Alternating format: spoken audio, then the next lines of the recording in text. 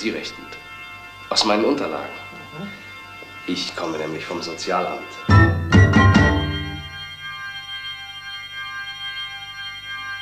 Die Frage ist natürlich albern, nur der Form halber. Sie sind doch beide volljährig, nicht wahr? Ich meine, Sie müssen doch nicht erst Ihren Vater fragen.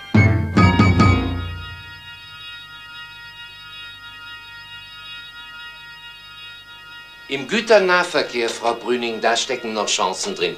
Alles, was irgendwo produziert, verbraucht oder verkauft wird, muss ja zunächst einmal transportiert werden.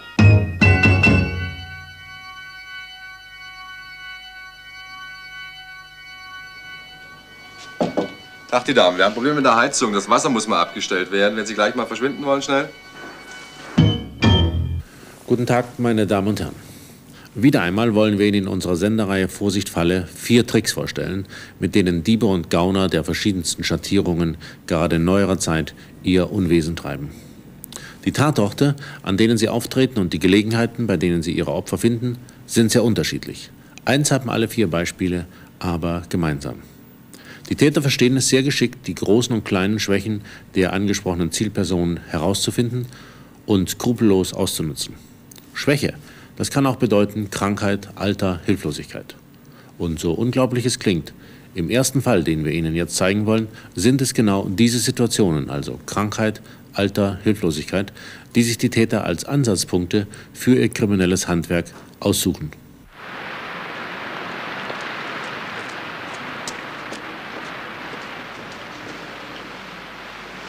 Tag, junger Mann. Darf's was sein? Ja, so ein Sträußchen hätte ich bitte gerne. Mhm. Nach 2,80 Mark. Ja. Darf ich Sie noch ein bisschen besser einpacken? Nein, danke, nicht nötig. Ich gebe sie sowieso gleich wieder ab. Sagen Sie, ist jetzt Besuchszeit? Ach, die sind hier nicht so kleinlich. Das geht den ganzen Tag. Ja. An einem Dienstag im Frühjahr 1979 in der Eingangshalle eines städtischen Krankenhauses in Norddeutschland. Ein seriös gekleideter Mann wartet auf eine Gelegenheit, um ganz unauffällig die Pforte des Krankenhauses zu passieren. Wie in fast allen Krankenhäusern sind auch hier die strengen Besuchszeiten früherer Jahre einer relativ großzügigen Regelung gewichen. Dies ist zwar für Patienten und ihre Angehörigen recht angenehm, aber es ebnet auch zwielichtigen Besuchern den Weg. Guten Tag. Guten Tag. Können Sie mir bitte sagen, wo Frau Ludwig liegt? Klar, Moment bitte.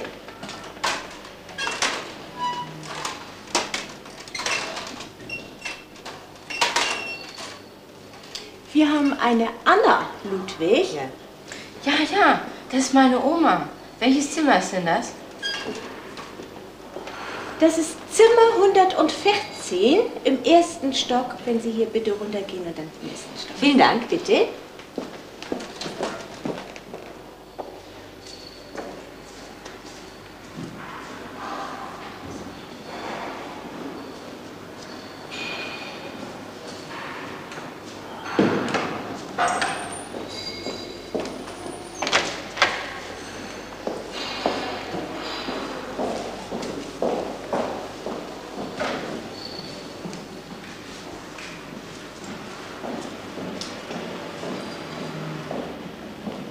Du Mutti, was war denn mit dir? Ist die tot? Ach was, die schläft bloß. Wahrscheinlich Narkose gekriegt und wird gleich operiert. Ach so.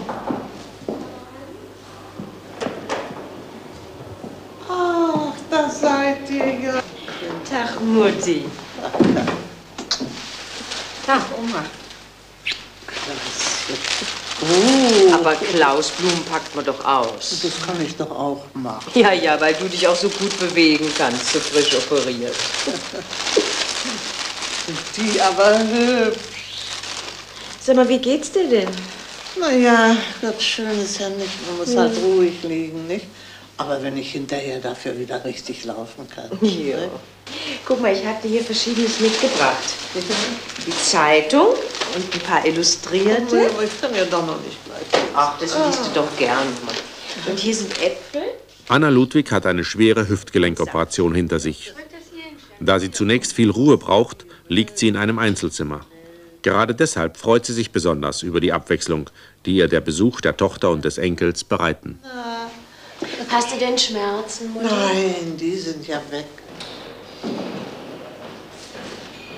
Der Mann mit dem kleinen Blumenstrauß, der gleichzeitig mit Frau Borchert und ihrem Sohn das Krankenhaus betreten hat, wandert scheinbar nicht sehr zielbewusst durch die verschiedenen Abteilungen der Klinik.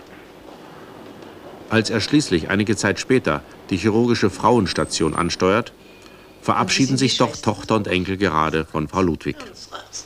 Siehst du, ich habe doch nur alles überstanden. Ach, das ist doch prima. ja, Mutti, ich glaube, jetzt brauchst du wieder Ruhe. Hm? Ja, warte mal, ich wollte noch was von dir. Ja? Was war das bloß? Ja, ich weiß es auch nicht. War es was mit zu Hause oder brauchst du vielleicht was? Nee. Ach ja, jetzt weiß ich es wieder. Du hast mir ja noch gar nicht gesagt, wie es mit dir in der Schule geht. Oh je. Ach, Klaus, jetzt tu aber doch nicht so. Erschreckt doch die Oma nicht. Gestern hat er eine 2 gebracht in Mathe. Was? Ja. Na, das muss doch belohnt werden. Gib mal mein Portemonnaie. Aber Mutti, lass doch das. Du hast doch selber nicht so viel. Gib's doch gern, das macht mir doch Spaß. So, hier, da. Danke, Oma. Kann ich gut gebrauchen. Ja, komm mal her, mein Süßer. So, da tun wir wieder rein. Aber irgendwas wollte ich doch noch von dir. Was war das bloß? Mutti, das fällt dir doch bestimmt wieder ein. Na, wird schon. Ja, sagst du mir das nächste Mal. Ja, ja. Wir kommen ja übermorgen schon wieder. Ist mir dein Mann schön, nicht? Mach ich. Tschüss, Mutti. Tschüss, mein Kind. Wiedersehen. Und grüße auch alle anderen noch, die ich so kenne. Ja, klar, mach Tschüss, ich. Oma. Tschüss. Tschüss, Mutti. Gute Vielen Besserung. Dank.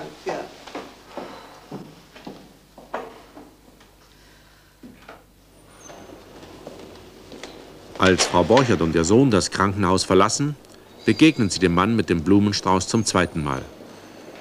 Nichts an seinem Äußeren deutet darauf hin, dass hier kein harmloser Besucher unterwegs ist, sondern dass ein raffinierter Trickdieb durch die Flure streift. Entschuldigung. Ich habe mich wohl in der Tür geirrt. Der Mann geht kein Risiko ein.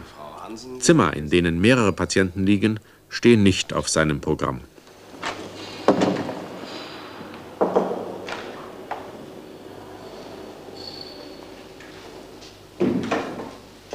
Liebsten sind ihm solche Zimmer, in denen er ungestört seinem kriminellen Handwerk nachgehen kann. Die Patientin aus Zimmer 113 befindet sich noch im Operationssaal.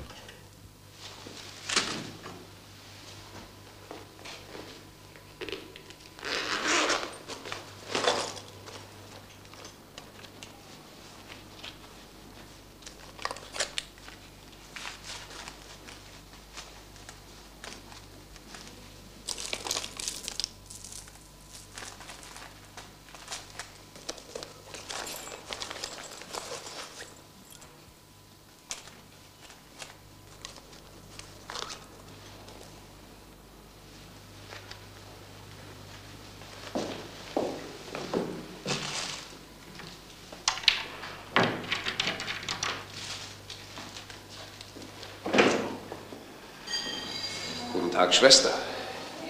Ach, das ist ja die 113, deswegen. Wen suchen Sie denn? Nach 114 wollte ich. Ich habe mich in der Tür vertan. Ach, zur Frau Ludwig. Ja, zu Frau Ludwig. Der geht's ja nicht so gut. Aber machen Sie nicht lange. Nein, ich weiß Bescheid, Schwester. Der Mann reagiert auch auf unvorhergesehene Zwischenfälle kühl und geistesgegenwärtig. Und er weiß auch, kleine Vorteile sofort zu nutzen, wenn er zum Beispiel zufällig den Namen von Patienten erfährt. Guten Tag, Frau Ludwig. Sie kennen mich nicht, aber ich kenne Sie recht gut. Aus meinen Unterlagen. Ich bin nämlich vom Sozialamt. Wieso Sozialamt? Hier stimmt irgendwas nicht? Nein, nein, im Gegenteil. Keine Angst, Frau Ludwig. Ich bin von der Seniorenbetreuung bei der Stadtverwaltung. Ach so. Sie, da war ich neulich mal bei so einem alten Nachmittag. Also ich muss sagen, das war das Gemüse. Da sehen Sie. Und wenn wir uns um Sie kümmern, wenn Sie gesund sind, tun wir das natürlich erst recht, wenn Sie im Krankenhaus liegen. Brauchen Sie irgendetwas? Was zum Lesen oder so? Nein, nein, danke. Meine Tochter war gerade da und hat mir was mitgebracht. Die kümmern sich schon um mich. Blumen hat sie mir auch mitgebracht heute. Frau Ludwig, beinahe hätte ich es vergessen. Ich habe auch Blumen für Sie. Blumen von der Stadt für mich? das ist aber lieb. Hm. Die sind aber hübsch. Tun Sie sie doch zu den anderen in die Vase. Aber das sieht doch nicht gut aus, Frau Ludwig. Ich hole lieber noch eine andere Vase. Draußen war eben eine Schwester, die frage ich mal. Am besten, ich nehme das Sträußchen mit. Damit wir eine passende Vase finden. Das ist aber wirklich lieb von Das ist Ihnen. doch selbstverständlich, Frau Ludwig. Ich bin gleich wieder da. Ja.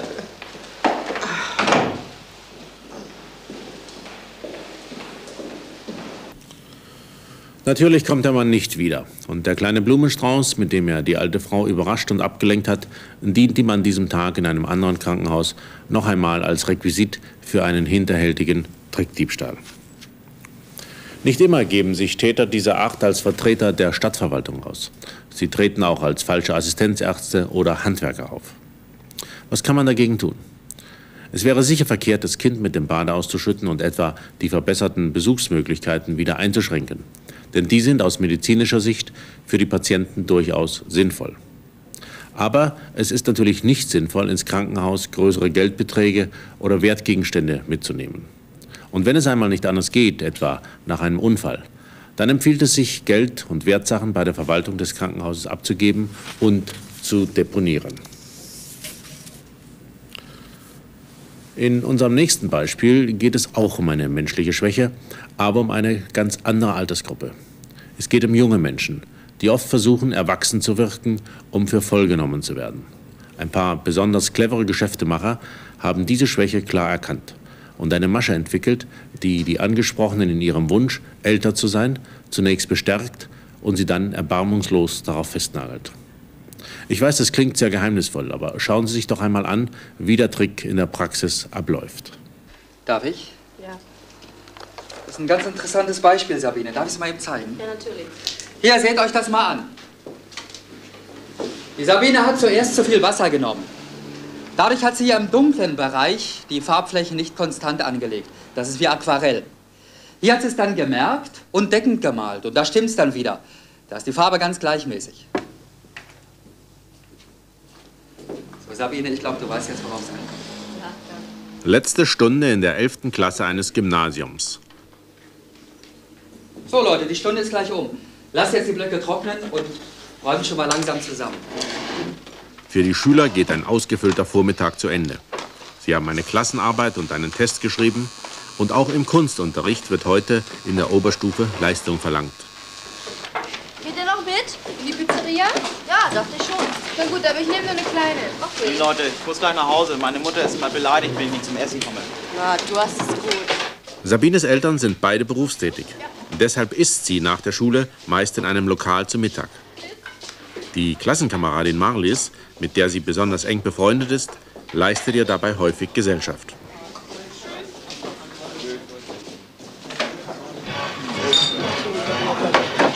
Dankeschön. Dankeschön. Lass es dir schmecken.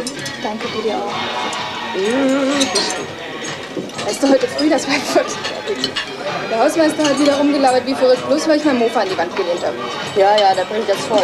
Und, hast du es weggenommen? Ja, was willst du machen? Gegen die kommst du doch nicht an. Na, genauso, dass der uns immer duzt. Die Lehrer fragen wenigstens, ob es einem recht ist. Ah. Gut, das tut wirklich gut. Den ganzen Tag nichts gegessen. Die beiden Mädchen merken nicht, dass ihr Gespräch von einem Mann aufmerksam verfolgt wird, der die Probleme 16- oder 17-jähriger Schüler genau kennt. Allerdings ist sein Interesse nicht frei von Hintergedanken. Ist heute Morgen in der Straßenbahn auch so ein dolles Ding passiert. Da labert mich plötzlich ein Macker von der Seite an. Er war scharf auf meinen Sitzplatz, aber nicht viel älter als wir. Und dann die Tour mit den jungen Beinen. Ich habe bloß was von Meniskus gemurmelt und dann auf Spur geschaltet. Ja, manche Leute kannst du wirklich vergessen. Entschuldigen Sie, dass ich Sie so einfach anspreche, aber Sie sind doch sicher Studentin, nicht wahr? Na ja, gewissermaßen. Warum? Sehen Sie, das dachte ich mir. Da. Dann verstehen Sie ja was von Büchern. Schulbücher? Quark, doch keine Schulbücher. Natürlich nicht. Literatur meine ich. Böll, Brecht oder wenn Sie wollen Simmel, François Sagan. Eben alles, was man so gelesen hat. Ja, ja, das kennen wir natürlich. Haben Sie denn was mit Büchern zu tun? Ja, gut getippt. Wissen Sie, wir sind eine große Bildungsvereinigung und wir sprechen nur ein ausgesuchtes Publikum an. Akademiker, Studenten und solche, die es werden wollen. Was heißt Bildungsvereinigung? Ist das ein Club oder sowas? Ja, in gewisser Weise schon. Nur, dass wir die Mitglieder sorgfältig auswählen. Und ein Club ohne Mitgliedsbeiträge. Und da bekommt man Bücher umsonst? Naja, sagen wir, fast. Fast umsonst. Sie kriegen von uns kostenlos einen Einkaufsausweis. Mit dem können Sie Bücher, natürlich auch Schallplatten und Musikkassetten zu Vorzugspreisen einkaufen. Da sparen Sie eine Menge Geld, wenn Sie wollen. Und wenn man nicht will? Dann wollen Sie eben nicht. Was soll sein? Klingt interessant. Und wie wird man da Mitglied? Ganz einfach. Da brauchen Sie mir nur Ihre Adresse aufzuschreiben. Alles andere organisiere ich für Sie. Mit sicherem Instinkt hat der Mann den richtigen Ton getroffen. Die beiden Mädchen konzentrieren sich nicht mehr auf den Inhalt der Papiere, die sie ausfüllen, sondern nur noch darauf, den souveränen und erwachsenen Eindruck, den sie anscheinend auf den Fremden gemacht haben, zu erhalten und zu bestärken. So merken sie nicht, dass sie eine ganz normale Beitrittserklärung für einen ganz normalen Buchclub unterschreiben, mit der Verpflichtung, in regelmäßigen Abständen Bücher und Schallplatten zu beziehen. Wenn Sie dann bitte noch unterschreiben wollen. Da und rechts. Frage ist natürlich albern, nur der Form halber.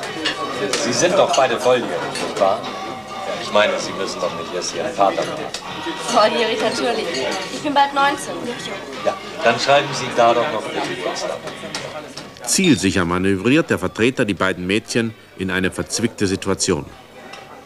Wenn sie jetzt nicht plötzlich doch zugeben wollen, dass sie keineswegs so erwachsen sind, wie es der Mann ihnen zutraut, dann müssen sie wohl oder übel ihr Geburtsdatum fälschen.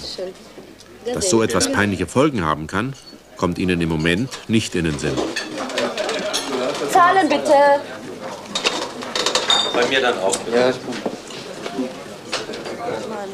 Tatsächlich geschieht zunächst einmal gar nichts. Und ein paar Wochen später haben die Mädchen über dem Alltag zwischen Schule und Freizeit das Formular, das sie in der Pizzeria ausgefüllt haben, schon beinahe wieder vergessen. Beeil dich mal. Aber sie sind bei dem Buchclub nicht in Vergessenheit geraten. Hast du auch sowas gekriegt? Das war bei uns heute Morgen in der Post. Nee, was ist denn das? Der Verein, wo wir neulich die Zettel ausgefüllt haben. Na und? Du, ich sag dir, dass irgendwo der wohnen kann. Was macht das so spannend? Bitte suchen Sie aus unserem Katalog Bücher und Schallplatten für mindestens 30 Mark aus. Sollten wir bis zum 30. April keine Nachricht von Ihnen haben, gehen wir davon aus, dass Sie uns die Auswahl überlassen möchten. Wir senden Ihnen dann per Nachname das Buch des Quartals und unsere neue Langspielplatte Blasmusik macht froh. Na, wirklich. Ich konnte das Ding heute Morgen gerade noch abfangen. Ich bin fast vom Stuhl gerutscht, als ich das gelesen habe. Hör mal, das ist ja ein hundsnormaler Buchclub. Meine Tante ist in sowas. Die muss das ganze Jahr über Bücher kaufen und die verschenkt sie dann alle zu Weihnachten. Sag mal, und du hast sowas nicht gekriegt? Bei uns kommt die Post erst um 10. Mensch, wenn meine Alten das in die Finger kriegen, das gibt Ärger. Weißt du was? Dieser Typ hat doch damals gesagt, wenn man nicht will, dann muss man nicht. Dafür bist du Zeuge. Ja. Ja, und ich sag einfach, dass ich nicht will. Ganz so einfach, wie die jungen Mädchen glauben, lässt sich das Problem allerdings nicht aus der Welt schaffen. Zwar hat es zunächst auch Sabine geschafft, den verräterischen Brief abzufangen und zu zerreißen. Endgültig konnte sie dem befürchteten Ärger damit aber nicht ausweichen. Guten Tag. Guten Tag. Eine Nachname für Sabine Wieland macht 33 Mark 50. Das ist meine Tochter. Wo kommt das denn her? Literarische Bildungsvereinigung. Kann ich das mal gerade einen Moment mitnehmen? Ja, wenn es nicht zu lange dauert. Sabine, hast du bei einer literarischen Bildungsvereinigung was bestellt? Ich? Ja, natürlich du. Hier ist ein Nachnahmepäckchen an dich adressiert. Also nö, bestellt habe ich nichts. So, dann geht das also zurück. Ah ja, richtig. Lass es zurückgehen. Das ist wohl das Beste. Also, das geht zurück. Schreiben Sie Annahme verweigert oder sowas. Ja, ist gut. So, nun beichte mal. Wie ist denn das gelaufen? Auch bei Marlies bleibt der Ärger nicht aus. Denn auch zu ihr hat der Postbote das gleiche Nachnahmepäckchen gebracht. Was ist denn nun damit, Marlies? Ich gebe ja zu, dass es blöd war, dass ich da unterschrieben habe. Aber der hat wirklich gesagt, dass es nichts kostet. Ich verstehe auch nicht, wie du sowas annehmen konntest, Mutti. Nun sucht die Schuld nicht noch woanders. Was ist überhaupt drin für 33 Mark? Blasmusik macht froh. So weißt du. Sag mal, gilt es denn eigentlich, wenn ein Kind sowas unterschreibt? Es ist doch noch minderjährig. Da hast du recht. Ich rufe da mal an. Vielleicht kann ich das gerade bieten.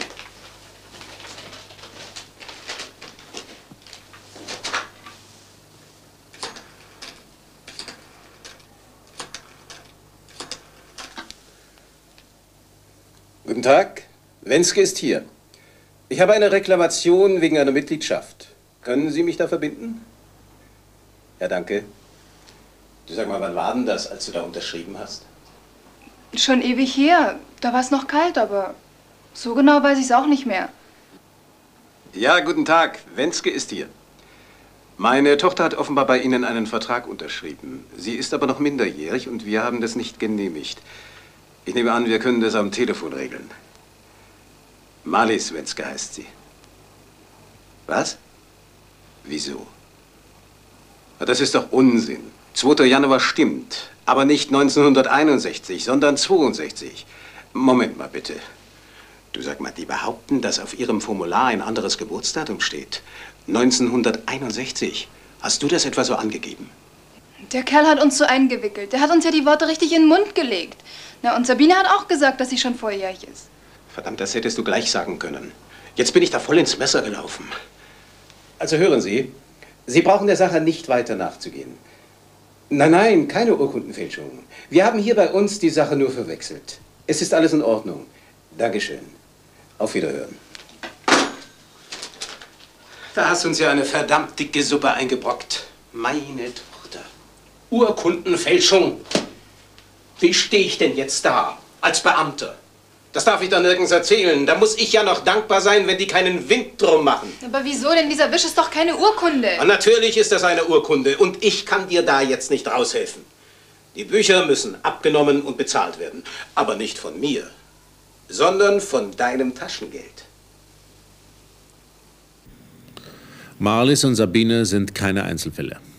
Wenige Buchvertreter der gezeigten Art haben in den vergangenen Jahren unzählige Jugendliche auf die gleiche Weise hereingelegt und fast immer haben die Eltern zähneknirschend klein beigegeben. Denn sie wollten natürlich nicht lange darüber diskutieren, ob ihr Sohn oder ihre Tochter als Urkundenfälscher anzusehen ist oder nicht.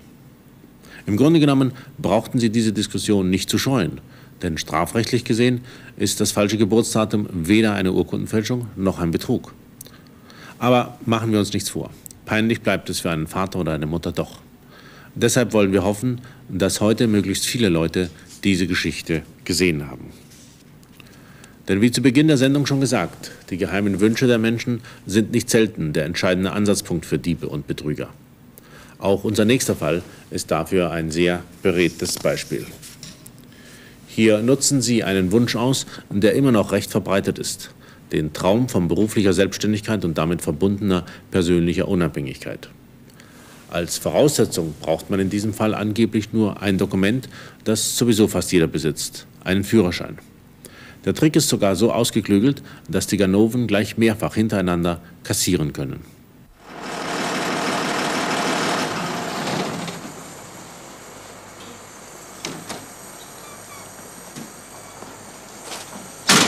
Karl-Heinz Schwarz, ehemaliger Verkäufer in einem Warenhaus, ist eines der Opfer, das ihnen auf dem Leim gegangen ist. Jetzt, nachdem er glaubt, die Masche durchschaut zu haben, versucht er den Kopf aus der Schlinge zu ziehen. So, hier sind die Schlüssel. Der Wagen steht draußen. Tja, Herr Schwarz. Das tut uns natürlich leid, dass Sie jetzt das Handtuch werfen. Bitte. Karl-Heinz Schwarz gibt einen LKW zurück, den er erst vor ein paar Monaten gekauft hat. Die Geschäfte gehen eben nun mal gut, mal weniger gut. Gerade jetzt haben wir aber wieder einen Aufwärtstrend. Nee, nee, nee, nee, das habe ich schon ein paar Mal gehört. Mit sowas brauchen Sie mir nicht mehr zu kommen. Wie Sie wollen. Wir kaufen den Wagen vertragsgemäß zurück. Der Schätzpreis beträgt, Moment, 15.000 Mark. Was? Das ist doch nicht Ihr Ernst. Ich, ich habe 25.000 dafür bezahlt, vor sechs Monaten. Nee, nee, nee, Herr Schwarz, Moment mal. Sie haben den Wagen für 25.000 gekauft. Bezahlt haben Sie aber erst 6.000. Da sind noch 19.000 offen. Für 15.000 nehmen wir ihn zurück. dann kriegen wir von Ihnen noch 4000. Hören Sie mal, das kann doch nicht angehen. Dass Sie den Wagen zurückkriegen und ich auch noch 4000 dafür zahlen soll. Doch, doch, das müssen Sie schon. Und für den Fuhrvertrag müssen Sie auch einstehen. Da gibt es Kündigungsfristen, da läuft einiges an Gebühren weiter, wenn Sie jetzt den Kram hinschmeißen. Versicherungen, Anschlussgebühr, Funk und so weiter. Sie können das aber natürlich in Raten abzahlen. Also, das ist die größte Sauerei aller Zeiten, was Sie hier mit mir machen. Na, na, vorsichtig, Herr Schwarz. Wir könnten auch weniger entgegenkommend sein. Das lasse ich mir nicht bieten. Karl-Heinz Schwarz beendet ein Vertragsverhältnis, in dem Rechte und Pflichten sehr ungleich verteilt waren. Während er nicht weiß, wie er seine Schulden bezahlen soll, zieht sein Vertragspartner bereits gewinnträchtige Konsequenzen aus dem offensichtlich vorprogrammierten Ende der Geschäftsverbindung. Georg, der blaue Fünftonner ist wieder frei. Mach ihn ein bisschen zurecht und dann gib gleich das Inserat auf. Wie üblich unter Stellenanzeigen. Ja. Das Inserat, in dem eine selbstständige Existenz als Fuhrunternehmer mit dem dazugehörigen LKW angeboten wird, erscheint bereits am nächsten Tag. Zu den Lesern, die sich für das Angebot interessieren, gehört auch der 42-jährige Gerhard Brüning. Er ist Angestellter in der Expeditionsabteilung einer Werkzeugmaschinenfabrik und er spielt schon lange mit dem Gedanken, sich bei passender Gelegenheit selbstständig zu machen. Hallo, Herr Brüning. Moin. Na, wie geht's? Oh, immer das Gleiche. Habt ihr alles fertig? Ja, doch, das ist ziemlich viel diesmal. Da freut sich mein Chef. Der jammert nämlich immer, wenn wir bloß halb voll fahren. Geht's ihm denn so schlecht? Quatsch. Da bleibt schon ganz schön was hängen. Ja, das glaube ich. Ich sehe ja immer eure Rechnungen. Aber fallen da nicht ziemlich viele Unkosten an? So schlimm kann das nicht sein. Der hat sich jetzt einen Swimmingpool gebaut. Mit Halle, mit Gegenstromanlage, mit allen Schikanen. Ja. Kommen Sie erst mal rein ins Büro, damit hier was läuft.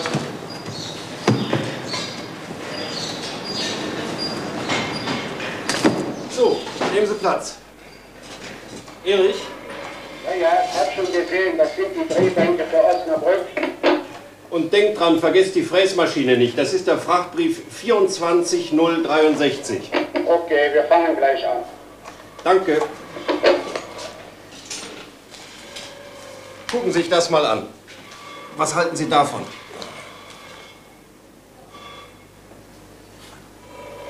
Für mich wäre das nichts. Mir ist lieber, ich weiß jeden Monat, was ich kriege. Wollen Sie das wirklich machen? Naja, ich weiß nicht. Ich komme hier irgendwie nicht richtig weiter. Seit fünf Jahren da Frachtbriefe abhaken und was man dabei verdient, ist auch nicht so doll. Wie sieht das aus? Habt ihr eigentlich immer Aufträge? Tja, wir sind ziemlich ausgelastet. Aber wenn da mal so ein Großkunde ausfällt, dann sieht das schon gleich ganz anders aus. Also, ich würde mich das nicht trauen. Haben Sie denn überhaupt einen Zweier-Führerschein? Nö. Aber hier steht doch. Führerschein Klasse 3, dann nimmt man sich eben kleineren LKW. Ja, ja, ist richtig. Der reicht ja auch bis siebeneinhalb Tonnen. Und was die da schreiben mit dem Kapital? Tja, wir haben ein bisschen was gespart. Meine Frau hat schon lange mitgearbeitet. Und die bohrt natürlich jetzt, dass wir uns mit dem Geld selbstständig machen sollen. Naja, wenn Sie meinen. Vielleicht ist das wirklich nicht schlecht. Ich denke auch. Fragen sollte man auf jeden Fall mal. Eine Woche später haben Gerhard Brünings Pläne schon recht konkrete Formen angenommen. Er hat sich zunächst brieflich bei der Firma Lastexpress gemeldet und dann telefonisch einen Besprechungstermin vereinbart. Zusammen mit seiner Frau will er nun mit dem Geschäftsführer über die Einzelheiten sprechen. Guten Tag. Guten Tag. Ist das nicht ein bisschen viel? Sie haben in dieser Woche schon über 30 Fuhraufträge. Naja, das ist natürlich richtig. Wenn Sie es als Beiladung mitnehmen und sowieso daraus fahren, dann rentiert sich das natürlich. Ist gut. Ich notiere die Aufträge für Sie. Auf Wiedersehen, Herr Schulz. Entschuldigen Sie bitte. Sie sind sicher Herr und Frau Brüning. Ja. Kroll ist mein Name. Wir haben ja schon zusammen telefoniert. Tja, dann wollen wir mal sehen, ob wir zusammenkommen. Was mir mein Mann so erzählt hat, das klang eigentlich alles ganz interessant. Das ist es auch, Frau Brüning. Im Güternahverkehr, da stecken noch Chancen drin. Alles, was irgendwo produziert, verbraucht oder verkauft wird, muss ja zunächst einmal transportiert werden. Dann haben Sie also mehr Aufträge, als Sie selber abwickeln können. Respekt, Herr Brüning. Genau so ist es. Sie haben einen Blick für wirtschaftliche Zusammenhänge. Wir könnten natürlich den Fuhrpark erweitern und Fahrer einstellen.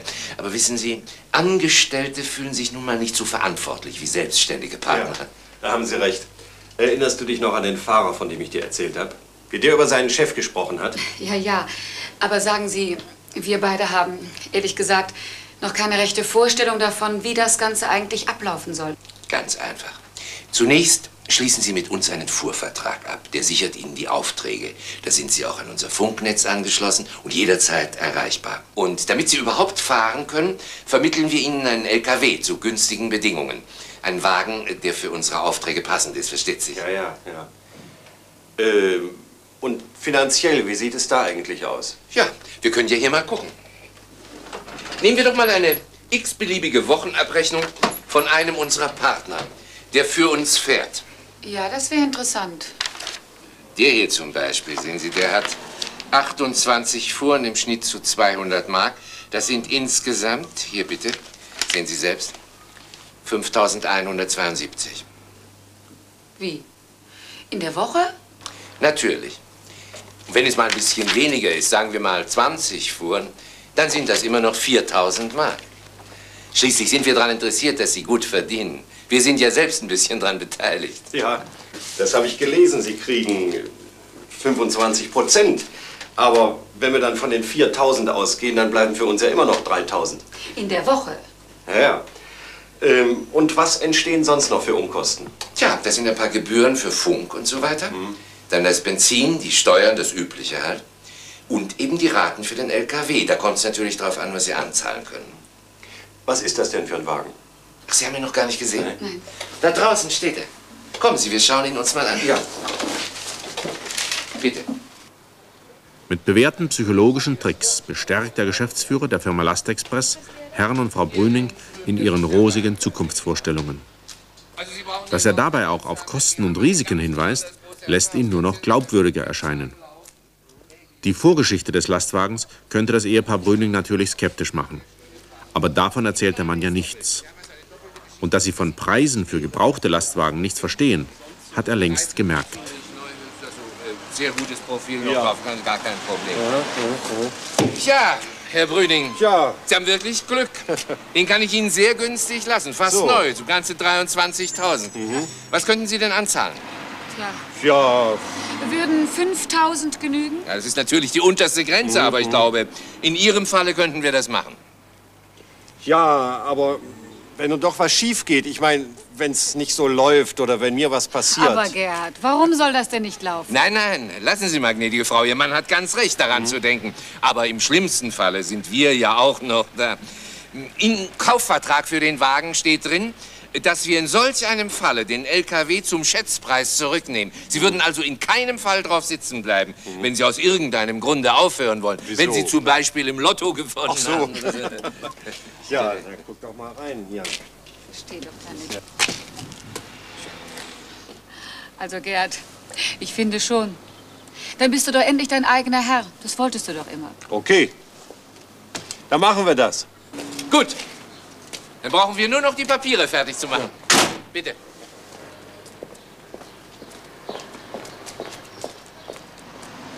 Schon bald nach dem entscheidenden Vertragsgespräch sitzt Gerhard Brüning am Steuer seines eigenen Lastwagens. Er hat bei seiner bisherigen Firma gekündigt, der LKW ist auf seinen Namen zugelassen und beim Gewerbeamt sowie beim Finanzamt angemeldet. Zu versteuern gibt es allerdings nicht viel. Denn nach den ersten recht guten Tagen fließen die Fuhraufträge nur sehr spärlich. An manchen Tagen verdient Gerhard Brüning nur 20 Mark oder auch gar nichts.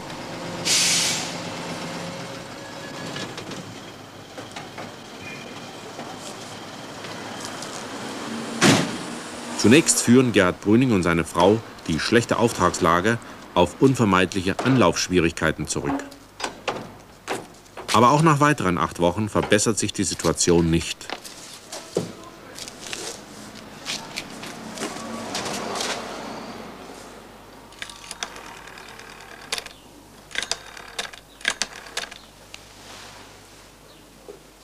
Tag, Herr Kroll. Hier ist Frau Brüning.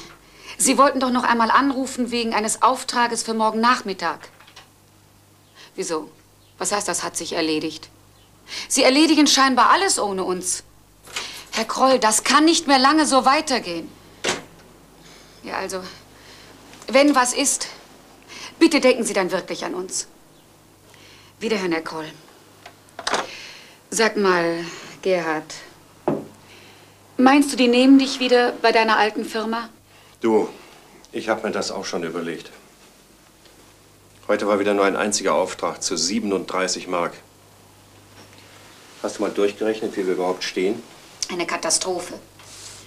Alle Konten sind überzogen bis zum geht nicht mehr. Ich traue mich schon gar nicht mehr zur Bank.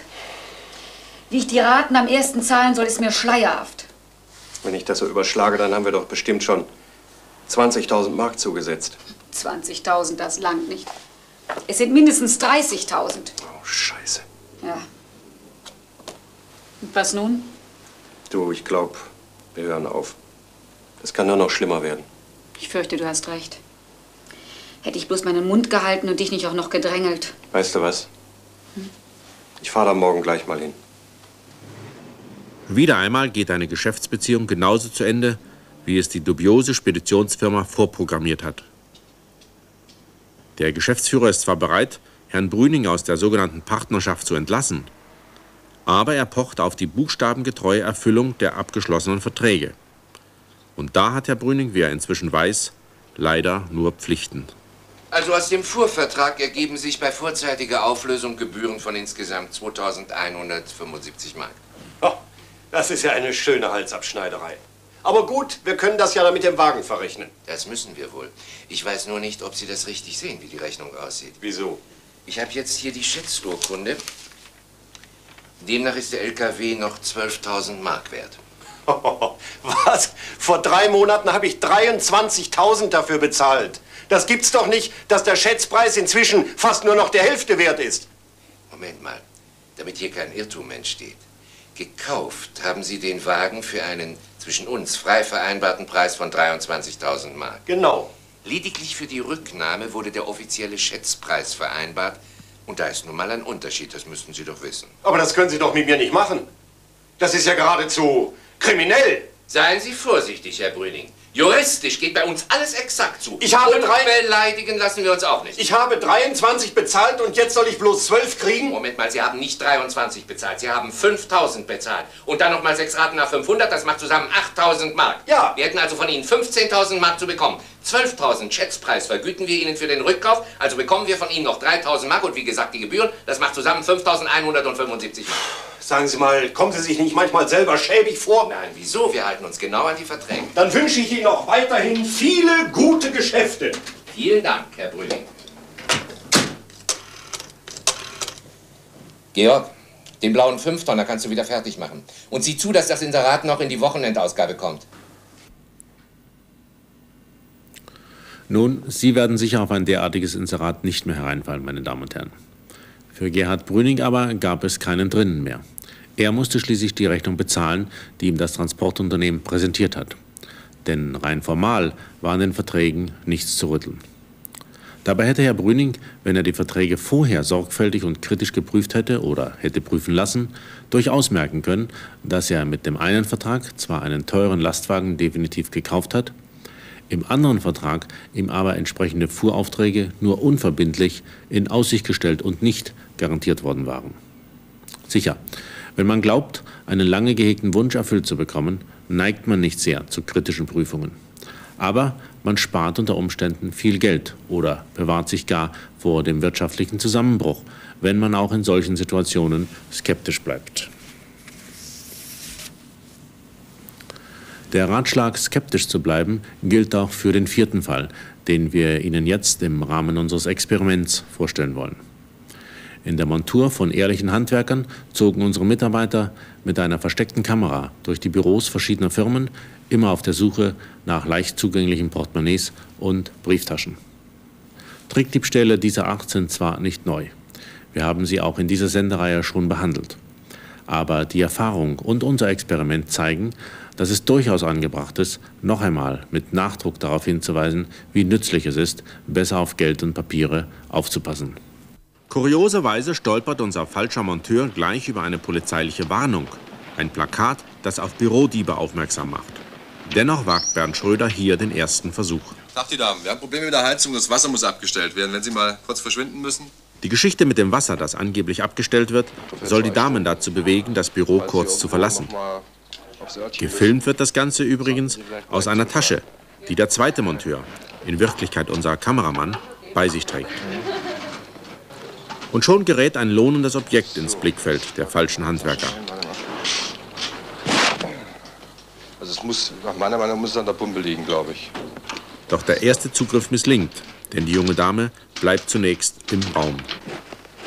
In einem leeren Nachbarbüro können unsere Leute dann ganz ungeniert die unverschlossenen Schreibtische untersuchen.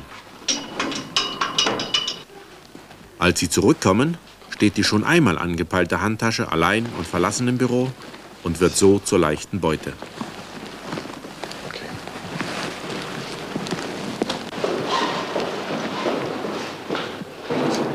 Der Inhalt kann sich sehen lassen. Personalpapiere und Kfz-Schein, Wohnungsschlüssel, Geld und die Schlüssel für das Auto. Und da die leeren Büros fast alle einladend offen stehen, geht es jetzt Schlag auf Schlag. Ein Taschenrechner,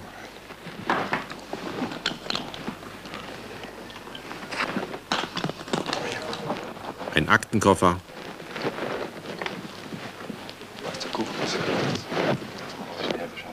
schließlich noch einmal eine Handtasche mit Geld und Papieren.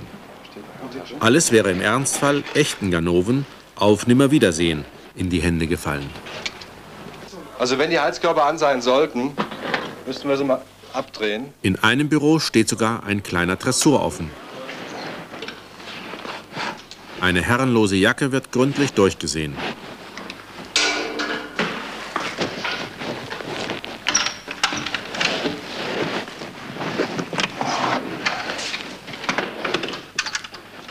Fündig wird unser Monteur auch in einem unscheinbaren Büroschrank, an dem der Schlüssel steckt.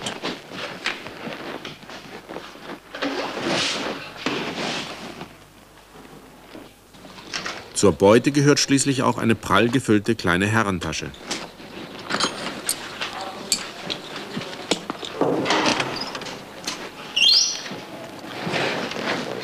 Ordnungsgemäß verschlossen war bei dem ganzen Experiment eigentlich nur eine Tür, die vom großen Panzerschrank. Für den Chef des Unternehmens, der seinen Panzerschrank hier vielleicht wiedererkannt hat, wenigstens ein kleiner Trost. Ansonsten hat unser Experiment, glaube ich, recht deutlich gezeigt, dass die Ermahnung durchaus angebracht ist, nicht nur Tresortüren, sondern auch Zimmertüren abzuschließen, wenn man das Büro verlässt. Denn was hilft die beste Vorbeugeaktion der Polizei, wenn sich keiner danach richtet? Und damit auf Wiedersehen bis zum nächsten Mal bei der Sendung Vorsicht Falle.